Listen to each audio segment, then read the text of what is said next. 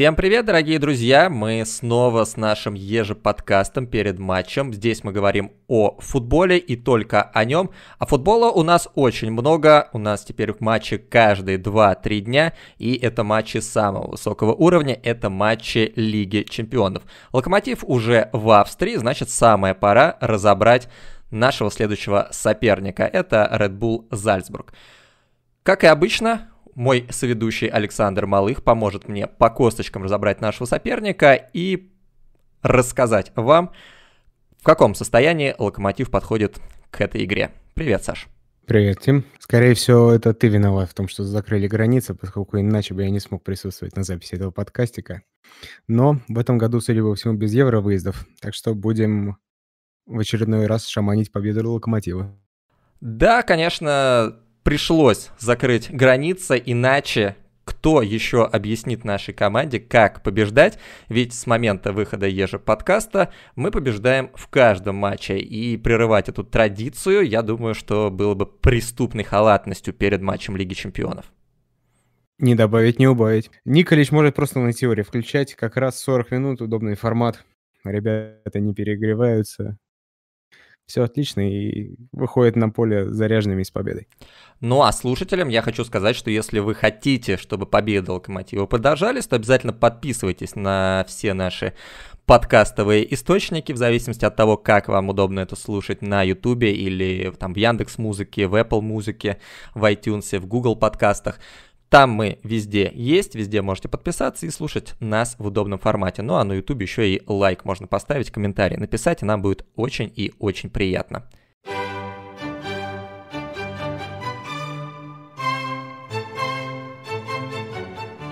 Состав локомотива, который прилетел в Австрию, тебя что-нибудь удивило? Наверное, нет ничего что могло удивить после того, как мы увидели э, заявку на матч с Уфой.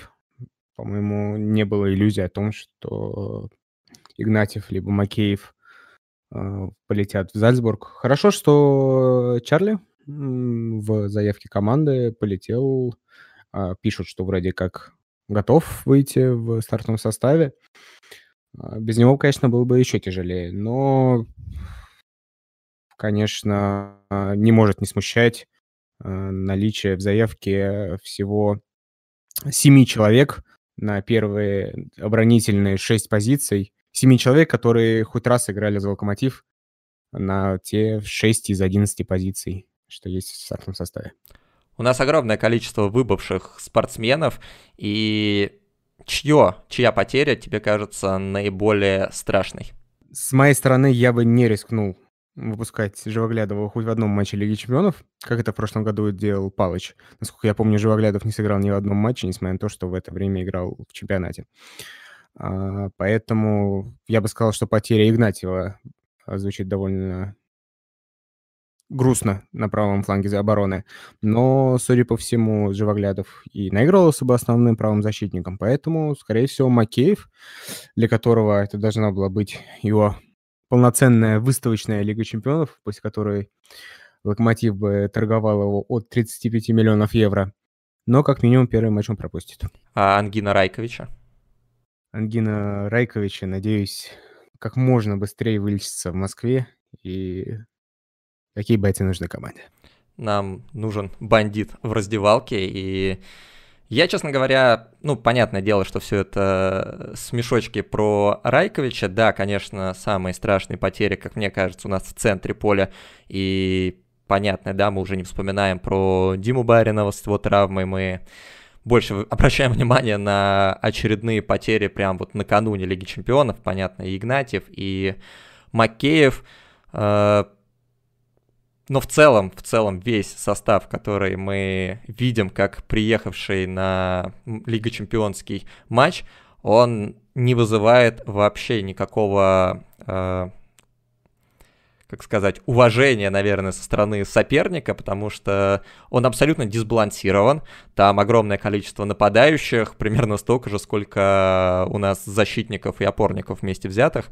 И при этом наш футбол, он э, в общем-то, ориентирован именно на оборону, и потеря любого бойца из вот этого списка приведет к, ну, наверное, к катастрофическим последствиям. Э, да, наверное, центральный защитник, слава богу, у нас Чурлук поправился, и теперь хотя бы, если вдруг что-то случится, может э, заменить Лысцов. Человек, который провел один матч за Локомотив. Два. Еще с Беличем. 92 минуты провел Лысцов за Локомотив. Но если что-то случится в опорной зоне или что-то случится по краям нашей обороны, то там будут выходить люди, которые не провели за Локомотив ни минуты еще на данный момент. И это Лига Чемпионов, это важнейший турнир, в котором Локомотиву обязательно нужно себя показывать. На мой взгляд, это, ну, едва ли не э, самый грустный итог трансферной кампании и в целом работы спортивного департамента Локомотива, что вот к первому же матчу мы подходим в таком состоянии. Трансферное окно закрылось буквально неделю назад. Я понимаю, если бы, не знаю, к шестому матчу вдруг неожиданное стечение обстоятельств, поломались вдруг неожиданно, опять же, на одной и той же позиции по 3-4 человека, и тренеру вот хочешь не хочешь, а придется выпускать какого-нибудь молодого, но опять же можно было бы его хотя бы наиграть на эту позицию, чтобы не было дебюта в Лиге Чемпионов. Но когда такое происходит в первом же матче, сразу после окончания трансферного окна, это вызывает большие вопросы и большие сомнения относительно сбалансированности состава и систематичности действий, которые происходят в клубе. Вот я помню, что многие в чате горевали о том, что как так у нас Дима Барин вылетел, нужен точно человек в опорную зону. Э, как мне кажется, что проблема с флангами была еще более выражена еще даже в концовке прошлого сезона, когда Маций э, получил травму, и у нас осталось не так много хороших вариантов вообще на края. Я вообще считаю, что только с нахождение в команде, э, с приходом в команду новых хороших крайних защитников Локомотив может рассчитывать на какой-то скачок в игре. И я очень ждал, э, несмотря на то, что хорошо и тепло отношусь к Мацу и Рыбусу, я все-таки, наверное, как-то даже надеялся, что контракт с ним не будет продлен, просто ради того, чтобы Локомотив попробовал кого-то э, нового на эту позицию. Но прошло время, и мы видим, что если бы еще и Маца не продлили, то я даже не представляю, кто бы вышел левым защитником на матч в среду. Ну, не будем касаться трансферной политики. Мы здесь говорим о футболе, мы здесь говорим про э, Зальцбург, про Лигу чемпионов. Э, единственная мысль, наверное, которую я завершу весь этот спич, это то, что Краснодар, которому завтра, а точнее для тех, кто будет слушать этот подкаст сегодня, играть с Реном, э, придется играть без троих, как минимум, футболистов э, основного состава, из которых двое вылетели по причине коронавируса, и тренер, насколько я понимаю, Мусаев также не полетел по этой же причине. Я очень надеюсь, что эти проблемы Локомотив не затронут уже непосредственно в Австрии, и если вдруг что-то произойдет, у нас запаса прочности нету вообще никакого. Что касается нижней половины состава локомотива. То, что сверху атакующий футболист нападающий, там выбор наконец-то появился. Не могу сказать, что какой-то сверхгениальный и позволяющий очень серьезно менять тактику, менять настроение команды, но, по крайней мере, выбор именно в самих футболистах есть. Если что-то случается с футболистами защитной части локомотива, там все гораздо-гораздо печальнее. Пока локомотив играл с Уфой и мастерски преодолевал оборонительные редуты команды Рахимова, Red Bull в достаточно легкой манере обыграл Санкт-Польтон в Кубке Австрии. Мне довелось посмотреть примерно половину этой игры, первый тайм, пока не начался матч Локомотива, и потом досмотреть highlight, и еще 15 минут я зацепил во время перерыва. 3-0 а, выиграл Red Bull, три голевых передачи сделал Доминик Собослаи, еще примерно 5 голевых Собослаи запорол Патсон Дака, но в целом Red Bull выиграл достаточно убедительно, пускай из двух стандартов, пускай и с ошибкой вратаря.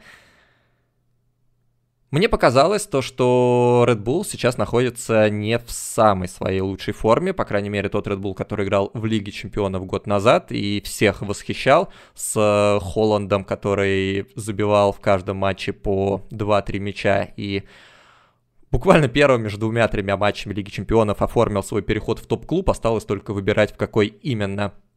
Сейчас Red Bull находится, наверное, в гораздо более низкой точке своей, своего развития. Пока еще футболисты, которые там выступают, за исключением, наверное, того самого Доминика Сабаслая, далеки от перехода в топ-клуб. Я на самом деле ожидал э, большего непосредственно от э, э, Зальцбурга, как минимум в обороне, потому что они действительно давали создавать моменты. Не, не могу назвать их явными, но у Санкт-Польтона было несколько достаточно неплохих подходов. Я думал, что разница в классе там такова, что этот матч будет в одну сторону. Но все равно Зальцбург показывает очень хорошее движение в атаке, такая хорошая хаотичность управляемая, когда э, там, в одной атаке здорово подключился опорный полузащитник, оказался на позиции нападающего, а в другой, наоборот, э, фланговый игрок здорово сместился в центр, отдал передачу на выход тому твоему любимому центральному нападающему.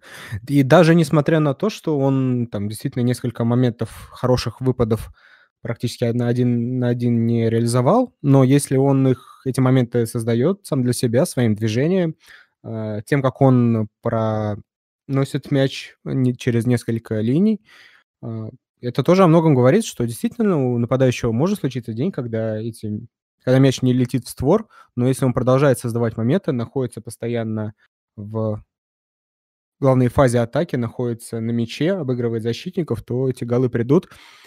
Поэтому Зальцбург – это очень серьезный соперник, особенно в плане физики.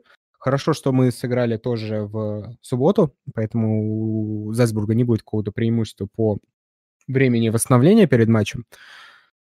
Но Зальцбург все показывает хорошее впечатление. Вот примерно в той же степени, что и мы обсуждали во время после жеребьевки, что атлетичная команда, все бегут, все борются, могут отдать хороший пас.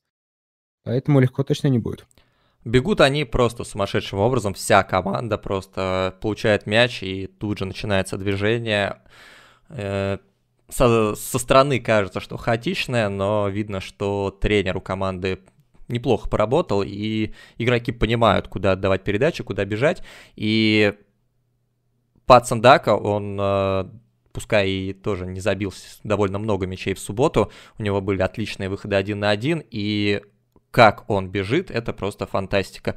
У нас, я боюсь, что никто так не умеет, и есть надежда определенно на Зелуиша, он э, как раз частенько показывал умение протащить мяч вперед в своих в португальской части своей карьеры и в Спартаке тоже периодически забегал с мячом достаточно неплохо, но сравнить скорость The Луиша и Пацнадаки просто невозможно. Однако я вспоминаю, опять же, год назад и полтора года назад, когда за Red Bull Зальцбургом ну, когда они еще не играли в Лиге Чемпионов, и за ними следили в основном потому, что там играли куча молодых футболистов, все равно Эрлинг Холланд играл гораздо более э, страшнее для своих соперников. Он э, клашматил из любых позиций, ты ему только дай мяч, а он обязательно забьет. Вот этой вот убийственности у Патсона Даки нету, в этом я думаю, что есть определенный наш шанс. Если бы мы встретились с Редбулом год назад, я, мне кажется, что шансов было бы гораздо меньше. Ну, тогда Red Bull, по-моему, был главной выскочкой того группового этапа. Они действительно с первого же тура забили, по-моему, больше трех мячей там в трех играх. А, понятно было, что и Холланд, и Минамина, и... Они первый свой матч 6-2 закончили. Без шансов. И я помню, что действительно, что как бы казалось бы, неподготовленному зрителю, что там, по-моему, был достаточно равный матч по афише, и когда настолько Герб. большое превосходство, тогда Холланд действительно забил все, что мог, все, что было нужно, но я согласен с тем, что кажется, во всяком случае, на данный момент, что у Зальцбурга тоже есть определенные проблемы э, в плане того, что в прошлом году состав был явно сильнее, но, наверное, те же ключевые особенности, они остаются при себе. Это яркие игроки атаки, быстрые, бегущие, хорошо бьющие. Поэтому Локомотиву придется проявить некую компактность в обороне, как минимум, чтобы постараться их сдержать. Red играет по примерно той же схеме, что и Локомотив 4-4-2, но есть один небольшой нюанс, как говорится. Red конечно, играет исключительно в атаку, у них с обороной все достаточно печально, на самом деле печально. Санкт-Польтон доходил до ворот Bull не раз, не два и мог забивать, и моменты у них были достаточно хорошие. Не могу сказать, что у Bull классный вратарь Станкович. В основном все заканчивалось на том, что игроки Санкт-Польтона не могли попасть по воротам или не могли попасть мимо защитников. Я надеюсь, что в этом есть определенный шанс для Локомотива. Нужно только напрягать этих самых защитников. Как мне кажется, достаточно важно будет э, организовать прессинг на чужой половине поля, чтобы эти самые защитники напрягались, чтобы э, для них было сложным выходить в атаку, для них было сложным находить уже вот Сабаслая, находить там Койта и других ребят, которые уже получив мяч, разбегались бы и создавали проблему нашим оборонительным игрокам. Э, в этой связи, наверное, вот э, как Зе Луиш играл против Уфы, нужно, чтобы играло еще 3-4 человека, чтобы они бежали, напрягали и мешали начинать атаки. Вот э, у меня относительно Локомотива есть некоторые Опасения вот как раз из-за схемы, наверное, 4-4-2. Я так понимаю, что у нас безальтернативно завтра в середине будут э, Даня Куликов и Гджегош. И есть небольшое опасение, что вот даже по сравнению с тем матчем против э, Байера в том году, когда действительно Локомотив показывал очень хороший прессинг, и в том числе Федя Смолов, по сути, наполовину сделал тот самый второй гол Баринова, действительно здорово прессинговал, и у Локомотива в том матче абсолютно не было никакого разрыва между опорной зоной, э, защитой и атакой. Все смотрелось достаточно гармонично, игроки здорово заполняли зоны и, по сути, двигались таким единой пружиной, немножко сжимаясь в оборону, и в определенный момент, э, особенно это там в начале встречи хорошо работало, пружина это разжималась, и 3-4 человека э, организовывали прессинг и там либо ответную уже контратаку, если мяч уже перехватили к этому времени. Глядя на то, как Локомотив играл с Уфой, у меня уже возникают э, вот именно опасения именно вот за эту зону между двумя нападающими и двумя номинальными центральными полузащитниками. А если учитывая, что скорее всего так будет складываться игра в среду, что Гжегош и Даня будут действовать еще ниже, то мне действительно очень боязно вот за эту зону, э, по сути, центрального атакующего полузащитника. Ведь 4-2-3-1, вот 4-4-2 э, не сильно вообще отличается своей формацией. Просто вот есть номинально э, в 4-4-2 это нападающий, который все равно садится вот в эту зону центрального атакующего полузащитника и оттуда руководит игрой. А была очень большая проблема с Уфой, когда Федя Смолов садился в эту зону, и он трижды пытался вывести Эдера, дважды Эдера и один раз Рифата Жамалединова один на один своими передачами. И, по-моему, все три раза мяч улетел за лицевую линию, настолько это было не точно, ни в шаг, ни в ход сильные вот эти передачи, и Локомотив исключительно терял мяч после того, как Федя пытался сместиться в эту зону атакующего полузащитника. Попытки Мне сделать вообще... из Федора Смолова Алексея Вернчука пока проваливаются. Я был на стадионе, но все равно делал себе небольшие заметочки в телефон относительно моментов. Я вот все жду, что, может быть, когда-нибудь Матч ТВ разрешит использовать свои видеоматериалы. Вот у меня 6 подряд э, сообщений с, с 19 минуту по 25 о том, как Федор Смолов... Ну ты и хейтер. Четыре раза подряд потерял мяч, и пока я чатик писал, что четыре последних касания Федора закончились потерей мяча, он еще и пятый раз это сделал. Ну, если Локомотив не будет сохранять мяч вот в тех редких контратаках, поскольку вот тот отрезок матча с Уфой даже Локомотив смотрелся хуже, и в какой-то момент Уфа даже немножко прижал Локомотив на своей половине поля. И вот те выходы, которые заканчивались просто потерей мяча наших нападающих. Я надеюсь, что Федор будет более мотивирован на Лигу чемпионов и постарается хотя бы половину из этих касаний э, оставлять своей команде, а не отдавать сопернику. Ну, справедливости ради, Федор в матчах Лиги Чемпионов действительно показывает чуть более высокий уровень футбола, чем в среднем по матчам российской премьер-лиги, так что можно надеяться, что действительно некая мотивация в нем будет. Но я, да, я не случайно сказал именно о прессинге. На мой взгляд, это наиболее слабое звено сейчас в Николичевском футболе. Мы очень часто после особенно 15 минуты. Первые 15 минут у Локомотива, в принципе, достаточно неплохой футбол почти во всех матчах, которых мы в этом сезоне сыграли. Но после 15 минуты очень часто, причем абсолютно неважно, с кем мы играем, Локомотив мяч теряет и уходит всей командой на свою половину поля и не может навязать контр-игру, потому что защищается очень низко, соперника встречает очень низко, и неважно, перед вами Химки, Уфа, ЦСКА или кто угодно – мы прессинга и проблем с развитием атаки для соперника вообще не создаем. А, как мне кажется, это ключ к успеху над Red Bull. И очень важная как раз э, разница с матчем с Байером.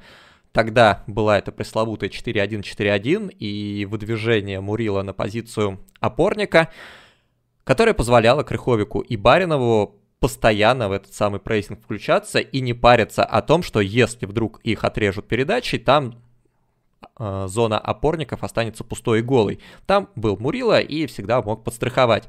И абсолютно не случайно то, что голы в том матче забили Крыховик и Баринов им развязали руки, их отпустили вперед, и они сделали разницу. И делали эту разницу потом еще в нескольких матчах в этой же самой формации. Там и Баринов головой забивал, и Крыховик свой, наверное, лучший отрезок выдавал, когда дальними ударами клал голы, в том числе Зениту. Сейчас мы этого вообще не ждем, и из-за проблем с составом, и из-за того, что сам Николич вообще ни разу не показал, что он готов пользоваться такой вот наработочкой, такой вот интересной мыслью. И Крыховик Куликов, которые будут играть в центре поля, я думаю, абсолютно безальтернативно, они будут сидеть сзади в обороне. Я не могу себе представить, что они пойдут прессинговать вперед, потому что тут же оголяется зона, тут же туда идет дальняя передача, и все эти быстроногие замечательные игроки Зальцбурга получают и пространство, получают возможности для обыгрыша один в один, и...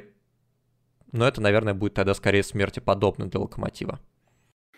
Ну вот, по сути, я именно это имел в виду, что скорее это даже будет не 4-4-2 в исполнении Локомотива, а некое подобие 4-2-2-2 э, с, именно с, с опорниками в середине поля, а не просто центральными полузащитниками – даже несмотря на то, что это будет не первая игра Дани Куликова в Лиге Чемпионов, я думаю, что все равно определенное волнение, даже несмотря на то, что там будет э, в составе соперника много его сверстников, я вот совсем не вижу, что Даня будет активно бежать э, вперед, э, прессинговать.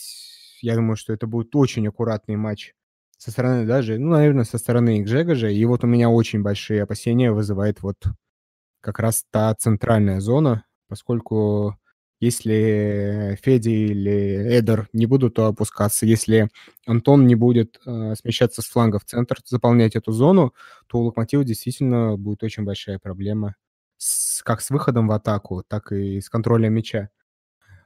Вот относительно того, что ты сказал, вот, да, у меня тоже в заметках четко видно, что с 18 по 26 минуту Локомотив провел на своей половине понят даже в матче с Уфой, и были шансы и моменты для того, чтобы выпрямить эту пружину, перейти в атаку, но и Эдер не так активно выигрывал свои единоборства после того, как команда делала э, длинную передачу. И, как я уже сказал, э, Смолов часто ошибался, терял мяч. И после того, как ты защищаешься на протяжении нескольких минут, очень важно как раз просто сохранить мяч. Не так важно построить какую-то классную контратаку, сколько просто дать всей команде подышать. После того, как три минуты ты защищаешься, э, перехватил мяч, тут же его потерял, еще две минуты защищаешься, в том числе очень большое количество энергии уходит, э, как у крайних защитников, так и у опорников.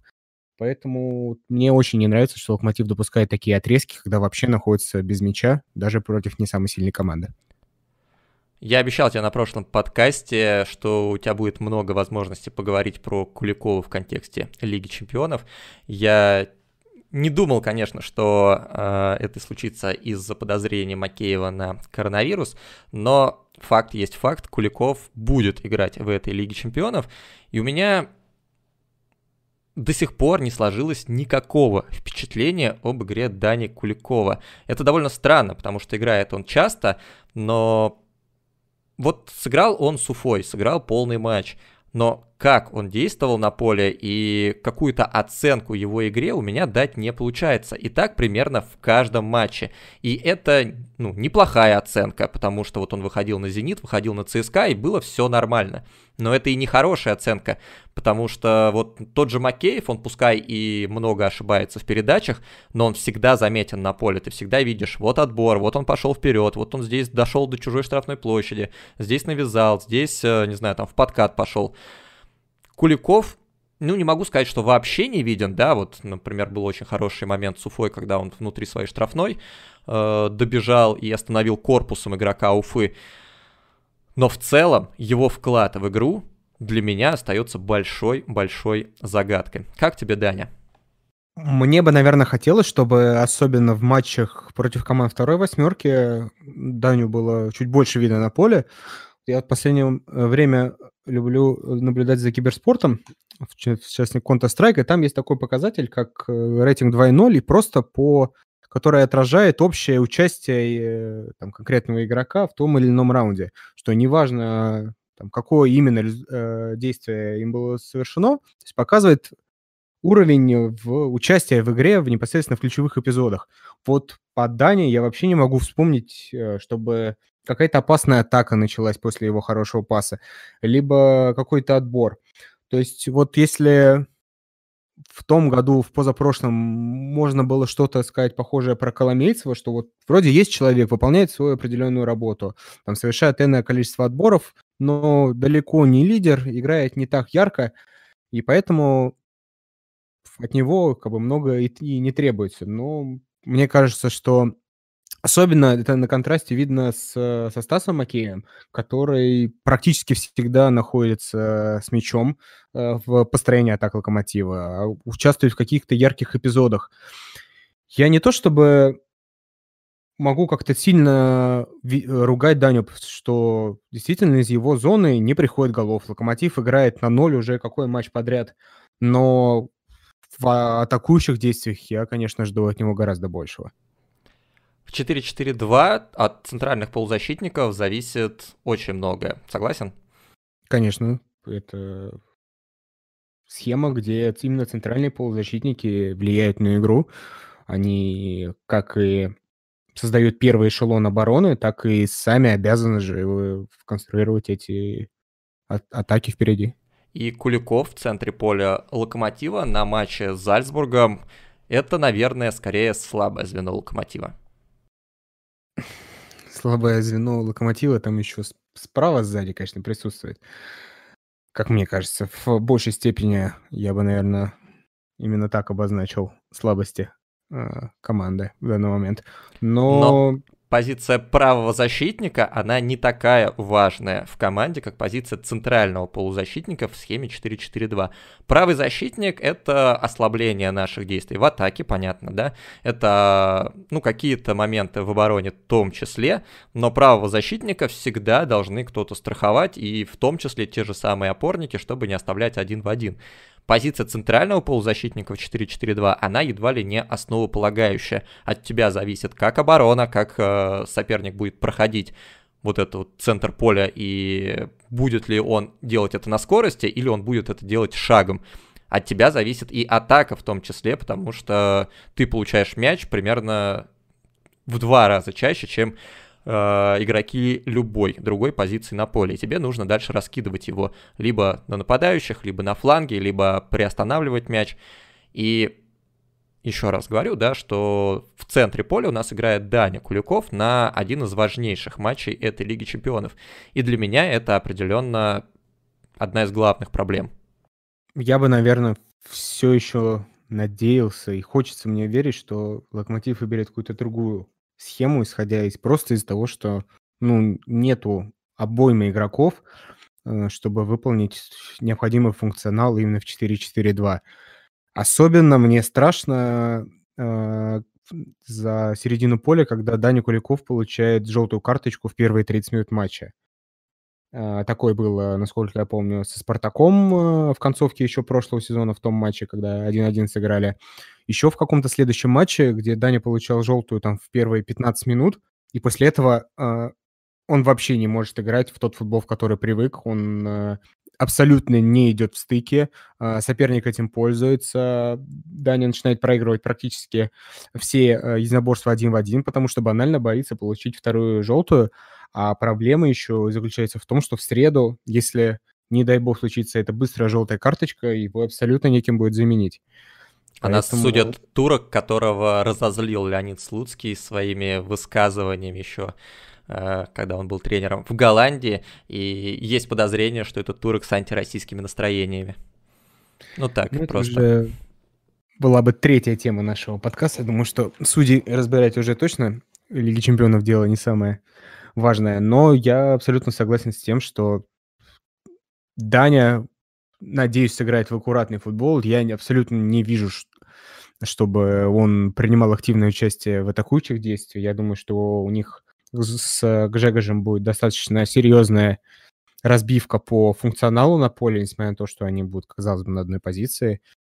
А, думаю, что вот как раз Даня будет тем страхующим Мурила прошлого сезона, нежели э, Бариновым или Крыховиком того матча, которые активно будут напрягать и добегать вплотную до вратаря соперника.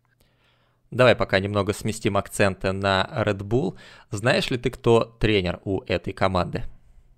Вот этот вот дикий э, человек с э, двумя миллионами просмотров э, его видео мотивации в перерыве матча против Ливерпуля. Да, я сегодня посвятил день, вечер изучению того, кто такой Джесси Марш. Это первый американский тренер, одержавший победу в Лиге чемпионов. У него достаточно интересная карьера. Есть интересный факт из биографии. Его, э, он играл во всех первых 14 сезонов МЛС. И считается, ну, понятное дело, самым перспективным американским э, тренером входил в штаб сборной США, когда они достаточно неплохо пошумели, когда Америка вдруг неожиданно открыла всему миру, что она умеет играть в сокер.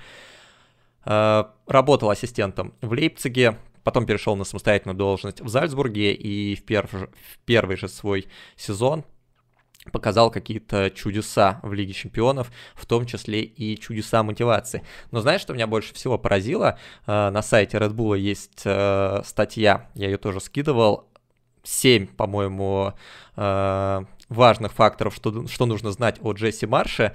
Там нету ни слова о тактике. Там все 7 пунктов посвящено тому, какой он классный мотиватор, тому, как нужно заставлять игроков отдавать 100% себя на поле, а вовсе не какие-то вот такие вот заумные э, схемы, тактики, перестроения, вот это все. То есть человек не из Плеяда Сарибола и кружев Гвардиола на футбольном поле. Да, это забавно, это, ну вот сейчас есть некая парадигма, в которой молодые европейские тренеры, они должны быть просто какими-то вот тактическими гиками, все эти XG, все эти э, сариболы, э, деление футбольного поля на 180 миллионов зон и водить э, игроков за ручки, чтобы они точно знали, в какой зоне им нужно оказаться, если мяч находится в том или ином положении. А, судя по всему, Джесси Марш вообще не об этом. Джесси Марш о том как раз, чтобы накачать игроков в перерыве, чтобы они вышли с горящими глазами и втоптали тебя в газон. Это ну, мне кажется, довольно интересно и необычно, особенно в системе Лейпцига, где, например, сейчас Нагельсман тренирует.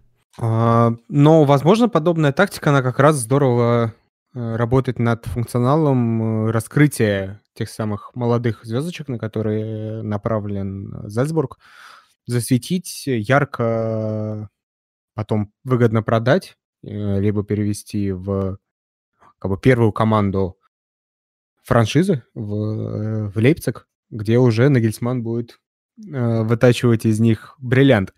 Но, наверное, вот тем самым молодым, э, бегущим африканским нападающим э, не всегда нужно э, изобретать какой-то велосипед, раскрывать их с точки зрения того, как кто куда бежит, а как непосредственно действительно вот дать тот импульс, расслабить даже психологически. То, что вот, допустим, в том году, как мы говорим, что молодые команды в первый раз, играя в Лиге чемпионов, могут там стушеваться, как бы не показывать свои лучшие качества просто из того, что вот давление там трибун, гимна Лиги Чемпионов перед матчем негативно может на них повлиять. Нет, в том году казалось, что, блин, этот Холланд десятый раз уже играет в этой Лиге Чемпионов, и с таким хладнокровием, с таких мотивацией, с которым они выходят на поле, ну, казалось, что это уже опытный игрок даже по европейским меркам. А, мне вот, когда начал говорить про тренера, я даже не очень понимаю, Николич, это вот про тактику или про мотивацию игроков. Наверное, как-то ни в ту, ни в другую сторону не получается его определить. То есть с какой-то степени, мне кажется, в, там, в том числе и с Уфой, как я вижу, что в перерыве был достаточно серьезный разговор, потому что на второй тайм команда вышла с совсем другим настроем. И в этом плане, мне кажется, Лига чемпионов должна быть еще более мотивирующая со стороны Локомотива. Но мы немножко... Опять я ушел от темы Зальцбурга. Все-таки ты у нас больше эксперт по австрийскому футболу. Uh, да, я, я, я смотрел целых 60 минут Зальцбурга в этом сезоне, я могу считаться экспертом. Да, я согласен с той э, темой, что вот такой вот подход тренера к э, футболистам, он позволяет именно раскрывать индивидуальность, именно то, над чем Red Bull Salzburg работает и то, в чем их философия находится. Ты можешь загнать всех футболистов в рамки, они будут играть и добиваться результатов, а потом ты этого футболиста выдергиваешь, и оказывается то, что без вот этих конкретных тактических рамок он из себя ничего особенно не представляет. Здесь же ты даешь ему свободу, ты даешь ему раскрываться, они раскрываются, и, соответственно, тренерам и селекционным отделам всех клубов мира видны именно настоящие качества футболистов, и они готовы за это платить. Но, с другой стороны, как мне кажется, это дает определенные козыри в руки Николичу. Соответственно, если команда именно завязана на яркие индивидуальные действия и на то, чтобы тренер там кричал на них в раздевалке биться, бороться, ты можешь этому противопоставить порядок и класс, и таким образом нивелировать разницу в уровне футболистов, которые, как мне кажется, есть. Если говорить о том, э, Николич тренер тактик или тренер мотиватор, я думаю, что сам Николич, наверное, себя бы причислял к, ну, конечно, бы сбалансированным, если бы Нобель спросил у него тренер тактик ты или тренер мотиватор, он обязательно бы сказал, что нужно и то, и другое. Uh, но я думаю, что сам Николич наверняка считает себя неплохим тактиком, но вот отсутствие серьезной гибкости, в отличие от э, Тимура Гурцкая в интервью Нобелю, я не очень вижу. Я не очень вижу, что, чтобы Локомотив менялся по ходу матча без смены игроков, а когда эта смена игроков происходит, то это скорее вот смена тактического стиля, завязанная на особенности этих самых футболистов, да, то есть ты меняешь одного футболиста на другого, и, соответственно, ну, Эдер, который больше про то, чтобы получить мяч издали и скинуть его партнеру, меняется на Зелуиша, который решил попрессинговать Белинова, и в этом есть определенное изменение тактического рисунка. Ну, даже вспоминая концовку прошлого сезона, мы об этом, наверное, не говорили, и это не э, выделялось ярко, но мне кажется, Николич уже тогда начал играть именно в 4-4-2, просто тем самым вторым нападающим был Алексей, который продолжал выполнять функционал э, атакующего полузащитника, а не нападающего. И действительно, Локомотив, допустим, в том же матче с Уфой э, с выходом, я помню, Камано, по-моему, на левый фланг, Антон перешел в центр, то есть и казалось бы, что Локомотив остался при той же схеме, но Антон действовал чуть в глубине и брал на себя обязанности по вот тому самому выходу из обороны в атаку, в том числе а, тот выход там 3 в 2 или 3 в 3, именно Антон в середине поля получил мяч и дирижировал, управлял той атакой из центральной зоны. То есть потом вышел Лис, и это сразу тоже вернулось на 4-4-2, то есть непосредственно, где у тебя два ярких форварда, которые должны взаимодействовать между собой. Пока главное, ну, когда говорим про некую тактическую гибкость, я лично подразумеваю под это некую подготовку к сопернику и изменение модели игры в зависимости от того, что показывает соперник в конкретном матче. Изначальная подготовка, да, ты какие-то вещи знаешь о сопернике и готовишься к ним, и уже по ходу матча, если соперник что-то показывает, соперник играет каким-то определенным образом, ты под это подстраиваешься. Пока что единственный матч, в котором мы это видели, как мне кажется, вот именно яркий единственный матч, это был матч ЦСКА, в котором вдруг неожиданно выходит Игнатьев на фланг под э, Марио Фернандеса, и это приносит свои плоды. Мне это очень понравилось, я это несколько раз отмечал, но с тех пор, по сути, по-прежнему мы ничего не видим, по-прежнему мы абсолютно одинаковым образом выходим что на ЦСКА, что на э, Химки, что на Уфу. Да, с Химками тоже у нас играет Владислав Игнатьев, хотя уже никакого Марио Фернандеса у Химок нету. Ну, наверное, посадить Влада после такого матча э, было бы тоже не совсем правильно. Я думаю, в том числе и от определенной психологии строился состав на матч с Химками. Я бы, наверное, немножко смягчил вот этот вот э, аспект, потому что, ну, все-таки мне бы хотелось, чтобы Локомотив в матче против там, 14, 15, 13 и 12 команды чемпионата все-таки строил игру от себя. Мне хочется, чтобы в матчах против команд 13, 14 и 15 места РПЛ Локомотив забивал больше одного и двух мячей. А для этого все-таки нужны определенные тактические изменения и понимание того, как ты собираешься взламывать а, оборонительные редуты соперника, которые будут стоять в две линии по 5 человек в каждой. И вот этого я как раз не вижу, и это меня как раз очень сильно беспокоит. Но мы сейчас не об РПЛ, мы сейчас о Red Bull Зальцбурге. У Red Bull 100% будут пустые зоны, 100% в эти зоны можно вбегать. И, наверное, если мы не будем сегодня играть в угадайку состава, я не вижу в этом большого смысла, но есть определенные вопросы по флангам флангом атаки, на которой у нас, похоже, единственная такая более-менее нормальная ротация может быть. Кого ты видишь на флангах?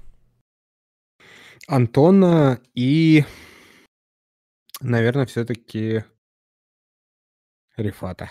То есть полное повторение того же, что у нас было и на Уфу. Если продолжать думать как Марко, то да. А, я бы хотел чтобы мне нравится и опция с Камано, который, несмотря на то, что до сих пор, конечно, видно не в форме, но может убежать, но, скорее всего, из-за того, что он там пропустил полторы недели тренировок, я думаю, что вряд ли э, это была бы сильно хорошая идея. Но Дима Рыбчинский в очередной раз очень здорово выходит, создает э, два очень ярких момента, там, после которых э, там Антон дважды бил поворотом, обыгрывая просто игрока в один в один, и это тоже нельзя не отметить. Э, Дима э, создает моменты, ускоряет игру на фланге, в первую очередь в атаку. Но я думаю, что все-таки вот будет более оборонительный вариант с Рифатом, который дает чуть больше объем сзади и надежность. Я согласен с тобой, мне тоже кажется, что Рифат это будет первый выбор Николича на Зальцбург, именно потому что чуть лучше остальных действует в обороне, но получается и в моей голове ни Антон, ни Рифат это совершенно, ну, бегущие футболисты, но это не те, которые способны полполя пронестись и убежать от соперника в контратаку, получив там передачу за спину, там вынос э, после углового у наших ворот, и понеслась атака. Мы видели прекрасно, как Антон убегал в эти контратаки 3 в 3, когда он первый там 15-20 метров бежит на максимальной скорости, потом замедляется, останавливается, ищет передачи, ищет куда можно отдать разрезающую передачу, и эта передача не особо качественной выходит еще и к тому же.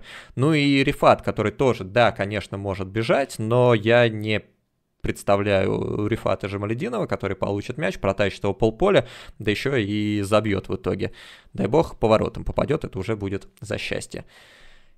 И в чем тогда шансы Локомотива в атаке это получается? Если мы будем сидеть в обороне, у нас низкий оборонительный блок, который не позволяет сильно прессинговать на чужой половине поля. У нас не бегущие фланги, которые, ну, больше настроены на розыгрыш мяча, нежели на то, чтобы вот реально убегать в контратаке. У нас Смолов и Эдер, скорее всего, как пара нападающих, которые не особо друг с другом знакомы. В чем шанс Локомотива на то, чтобы забить гол Зальцбургу? Стандарты, получается? Ну, в первую очередь, да. Мне кажется...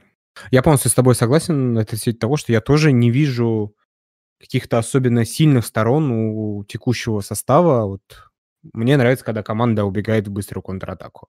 Это вот было несколько сезонов назад Локомотив филигранно этим владел, когда, э, наверное, квинтэссенция этого была в матче гостевом против «Зенита» 0-3. Трижды низкий блок э, защиты за один-два паса доходил уже до чужих э, ворот в контратаке, в быстрой, в разряжающей, в 2-3 паса, и в том числе там и Джефф здорово протаскивал мяч на скорости, там и... Тебе Фарфан приплачивает за то, чтобы ты его упоминал в каждом выпуске? Нет, только Ари приплачивает. Понял. А, я не вижу, да, проблема в скорости атак, она действительно, мне кажется, первостепенной в Локомотиве, потому что, ну, все топ современные топ-команды, они бегут. То есть это, если вот 5-6 лет назад а, была эпоха Барселоны, когда все почему-то подумали, что если ты держишь мяч 80% времени, то ты будешь побеждать, то сейчас, ну, в составе практически всех топ-клубов быстрые, сверхбыстрые э, крайки, мы об этом еще, конечно, поговорим в контексте Баварии. Но Локомотива, Локомотив не может этим похвастаться, потому что вот наша Надежда Камано явно не в форме, даже он не так бежит а, в данный момент. Поэтому кажется, что стандарты гол Мурила видится как самый низкий коэффициент среди всех, э, среди всех игроков Локомотива. Но у Санкт-Польтона, да, к слову, были большие шансы на то, чтобы забить. Именно после стандартов были несколько очень хороших ударов. И, ну, я уже говорил, защитники Bull это не самые качественные футболисты в системе Зальцбурга. Они ну, видимо, в данный конкретный момент времени набраны скорее для количества, а не для того, чтобы их затем продать за 10 миллионов, 20-30 миллионов евро. Не такие, как э, Мурила. В чем еще, э, возможно, наш э, план на эту игру? Это, возможно, час времени, условно говоря, играть по «нам не забьют», на все в оборону, а потом уже выпускать быстрых и прессингующих того же Зе Луиша, того же Камано, того же Дмитрия Рыбчинского. Это может сработать? Если Локомотив не пропустит этого времени, то безусловно. А, я думаю, что и Зальцбург вполне возможно, начнет чуть больше психовать, а, чуть раньше э, избавляться от мяча, чем это необходимо, будут действовать чуть больше в атаку. И ну вот в том же матче, например, в прошлогодних э, Лиги Чемпионских, когда э, там и у Юве были достаточно большие проблемы с созданием голевых моментов, и было видно, что там уже на 30-й минуте они начинают сильно торопиться в построении своих атак, пытаясь там отыграться, как в Турине, либо, э, наоборот, повести в счете, просто как было в Черкизово. И мне кажется, особенно учитывая не самую большую опытность э, австрийской команды, это может сыграть э, определенную роль. Это вот то, наверное, что попытались отрепетировать с Уфой, это выход э, Камано Рыбчинского З на последние 30-35 минут. Ну и давай в конце на этой замечательной позитивной новости, что мы можем обыграть Зальцбург только со стандартов, и если на замену выйдет Зе Луиш. Прогнозики, прогнозики, что ты ждешь от этого матча? Какой результат на табло будет в конце матча, по твоему мнению? Давай ты первый. А то ты постоянно копируешь мои удачные ставки. Ну, я, как обычно, буду крайне пессимистичен. А, я не очень верю в в набор очков Локомотива таким составом, таким набором игроков. Я не думаю, что сам Red Bull забьет много. Я посмотрел их матчи, мне не показалось то, что там убийцы такие, как были в Red Bull год назад. Они очень ну, много создают, но и очень много транжирят. Я думаю, что Локомотив проиграет с минимальным счетом 0-1, может быть 0-2, э, и, скорее всего, сам не забьет. Ну, тотал меньше двух с половиной либо трех звучит как самая хорошая ставка на этот матч. Я думаю, что действительно, как бы, исходя из последних там матчей Локомотива, в том числе не сильно много моментов как и у своих ворот, так и у чужих.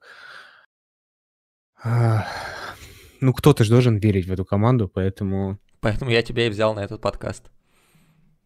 Мне нравится вот ставка гол Мурила, так и запишем. А, надеюсь, Локомотив не проиграет. Очень бы этого хотелось, поэтому вот, да, экспрессик собираем из гола Мурила, и Локомотив не проиграет. Ну, то есть это будет 1-1. 1-1, либо коронная похоронная крыха на 90-й минуте, чтобы мы закончили вообще все. А веришь в то, что Зальцбург не забьет? Слабо, если честно, думаю, что... То есть, несмотря... Да. тебя не впечатляют все вот эти вот э, пять матчей без пропущенных, вот это все в последних шести играх? Ну, кажется, что нет. Я все еще не считаю эту оборону эталонной. Против не самых сильных соперников на Локомотива хорошо получилось защищаться. Слава богу, не напривозили. Но это все-таки Лига Чемпионов немножечко немножечко совсем другой скорости и другой уровень. Ну, тогда верим в Мурила, верим в Крыховика, верим, наверное, в Зе Луиши тоже, который будет очень важным нашим звеном в атаке. И ждем, ждем от наших ребят новых свершений в Лиге Чемпионов и надеемся на лучшее. С вами был Ежи подкаст, с вами был Тим, с вами был Саша Малых. Пока!